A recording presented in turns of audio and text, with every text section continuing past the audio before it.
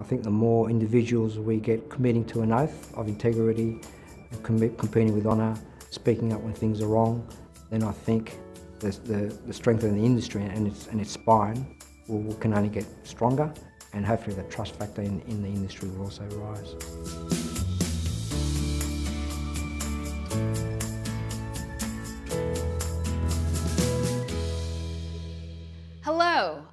I'm Laguerre Wilkinson. Welcome to Ethics in Business in Their Own Words. ACCA, the Association of Chartered Certified Accountants, has teamed up with Carnegie Council and CFA Institute to produce this interview series launched in 2018 for Global Ethics Day. The series features global business leaders exploring how businesses are preparing for an ethical future in the face of challenges presented by globalization, technology, and human psychology.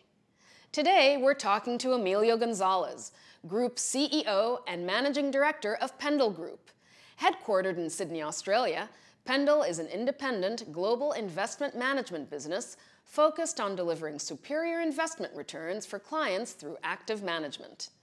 Pendal was originally established in 1969 under the name BT Australia Limited and became one of the most successful funds management businesses in Australia.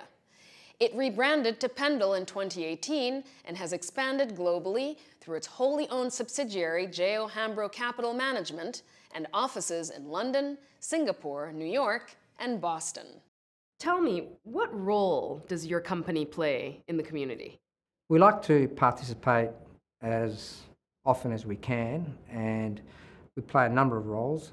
I'm really pleased to say that the staff is very engaged in raising money, fundraising, uh, around the world, whether it be a London office, a US office, or a Sydney office. We have uh, community committees that run functions, and we raise funds for cancer, cystic fibrosis. One charity we're very proud to be part of is a charity that's close to our heart, which is running for premature babies. We had a previous staff member who unfortunately passed away, um, but he had twins at, at a, when he was when he was becoming a dad for the first time, and he was very lucky that, that the hospital he was at had the right equipment. But we discovered that not every hospital had that equipment. And so the business over the last few years has been raising money to ensure that every hospital has the right equipment when premature babies are born. In addition to that, we help and people who aren't as privileged as ourselves in the industry, in our London office, we invite children from schools in a less well um, economic area and allow them to come in and we share with them what we do, what a typical day in the office is, and encourage them in terms of getting into investment management as well. How does your company work to create uh, diversity in the industry it serves? Very good question. Uh, unfortunately, our industry has a very poor record of diversity, particularly at the front line. Not so much in the back office or client service or marketing, in the front line where there's the day-to-day management of our clients' funds, very dominated by, by male and not a lot of female participation. One of the activities and initiatives that we have introduced recently is an internship program particularly targeted at females in their last year at university. And so we've gone out and started a program to bring in females to work with our investment teams to get them to better understand uh, what we do, how it's done, and give them a introduction and a leg up into the world of funds management. Out of that program, we've actually been able to hire females into our investment teams, and that's, that's one way of doing it. There's a number of other activities and work that we do. We've been a founding member of a program run by Mercer's around future impact, which they've put in place to try and educate the workforce on the female side about how to get into the industry, what's required, and what's the process to um, ensuring that there's a, there's a career there for females and males. And so we've been part of that important initiative. And also, also part of um, Women in Finance. There are a number of initiatives and membership that we participate to try and increase the diversity of participation in what we do. In, in the context of Australia, because this is where we are, how does your company work to support minorities who are already in the workplace? So you were talking about the presence in the back office um, and in other sectors. How do you bring them to the front? Well, on the diversity front between male and female, there's a number of programs, as I mentioned, around internship programs, but also in terms of supporting the staff, generally, we do have a very flexible working environment.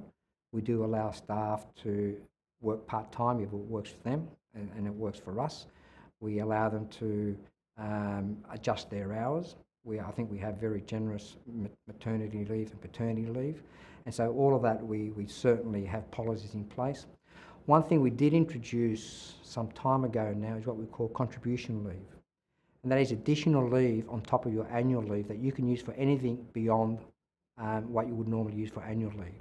So there was a period there where we were getting requests from uh, people who had religious holidays when it wasn't a public holiday uh, and other reasons to take time off or the day off for personal reasons.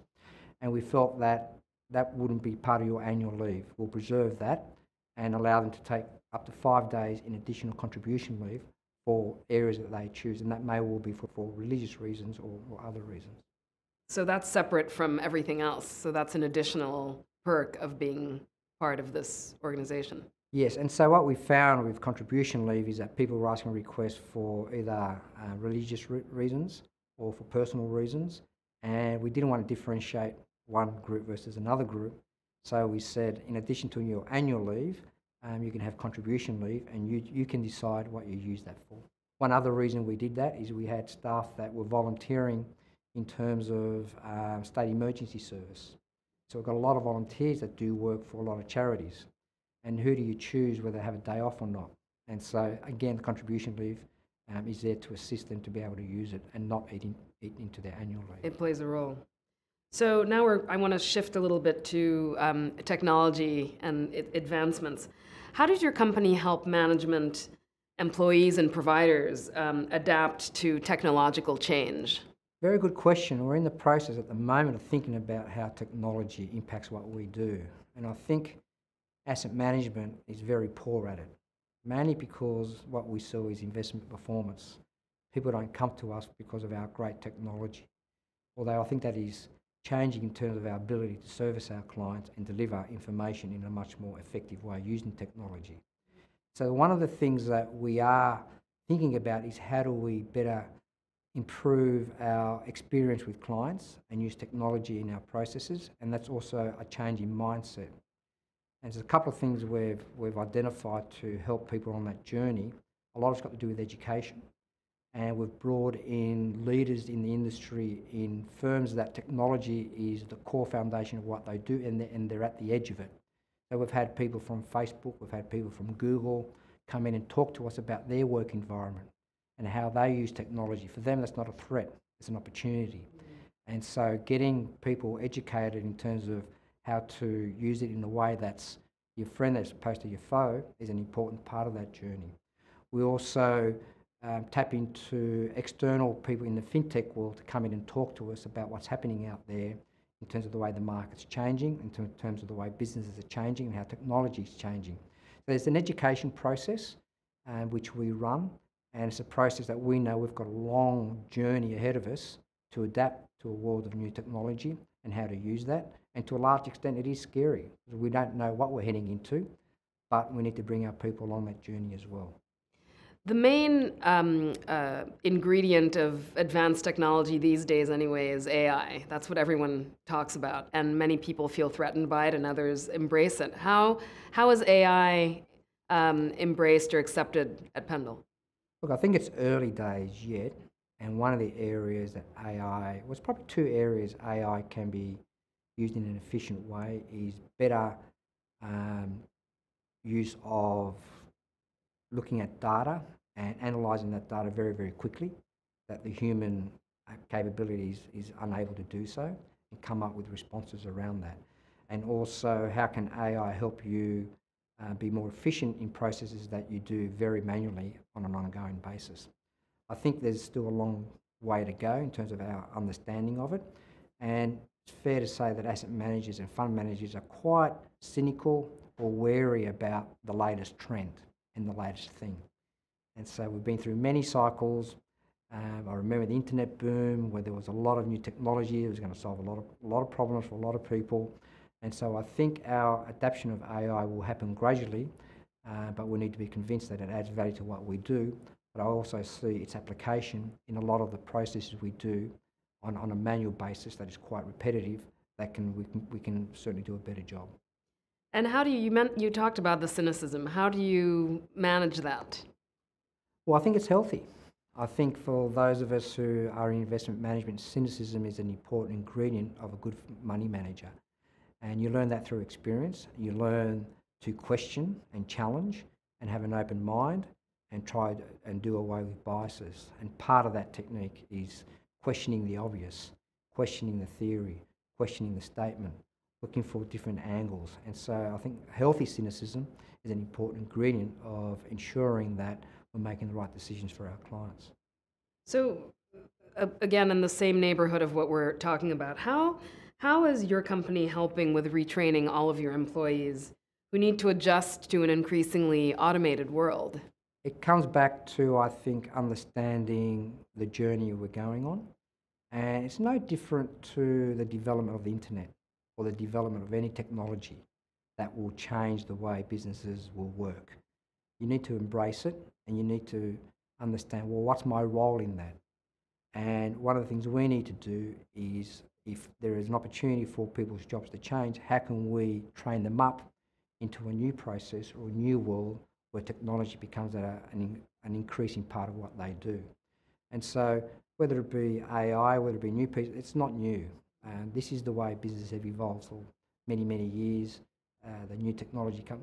Remember the days I remember pre-Excel days, uh, pre-Lotus one, two, three. Everything was done manually, and then this new technology piece comes through, and all of a sudden, all these people that are great at manual maths are not as valuable because you can do it on a spreadsheet. And so, what you need to do there is educate them in terms of rebuilding their skill set and using what they do to a whole new skill set. So, it's important to embrace it and educate and train people up as the world embraces different ways of doing things. What is the greatest ethical challenge facing your company and your, your industry in general? I think trust. I don't think that will come as a surprise. We're in a business where we manage other people's money, and the number one thing you need to have is trust. That's been challenged, particularly coming out of the financial crisis 10, 12 years ago and in the Australian market even more so now given the recent Royal Commission over the banking and finance. And so the big challenge we as an industry as a whole is ensuring that we can gain the trust of our clients, the trust of our customers. We're entrusted with managing their wealth, managing their money, and it's not always apparent that that trust is there. And so we need to put programs in place or act in a way that will put our clients first and that will take time. And over, over, over time, hopefully, we can be seen as a, as a profession that can be trusted, not only as a business that is focused on making money for shareholders. And how do you um, enforce that trust? Is it is it as simple as taking your clients out to lunch once a month? I mean, sorry to sound so simple. Um, how do you do that? How do you build the trust? It comes down to the culture, and it comes down from the leadership. And so trust is, you see it every day in what you do. It's not a bunch of words or uh, on a piece of paper. Uh, the leader has to start from the very, very top. And the meetings that you, that you attend, the decisions that you make, the words that you use, uh, you need to demonstrate integrity, transparency, honesty, and be upfront with your clients. So every piece of communication, every piece of activity every piece of work that you do comes back down to are we ensuring that the decisions we're making and the direction the business is taking uh, is putting our clients first, and secondly, is it enforcing our confidence in the trust that people have in us to manage their money. So you're on the board of um, of the BFO. Explain a little bit the role. Tell us about the BFO.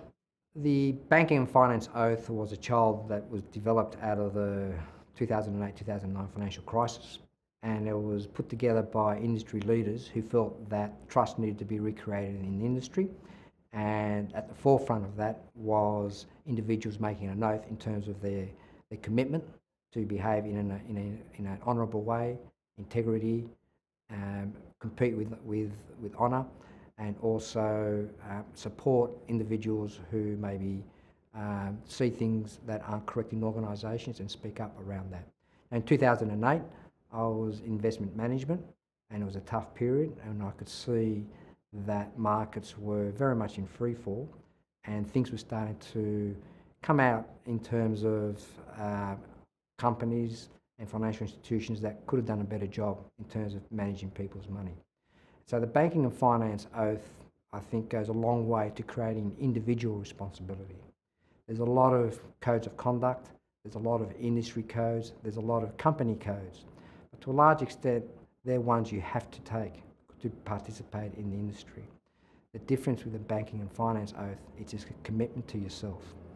And you can regulate markets as much as you want, you can put industry codes as much as you want, but at the end of the day, it's the individual behaviour and activities that people take at the front line that matters the most.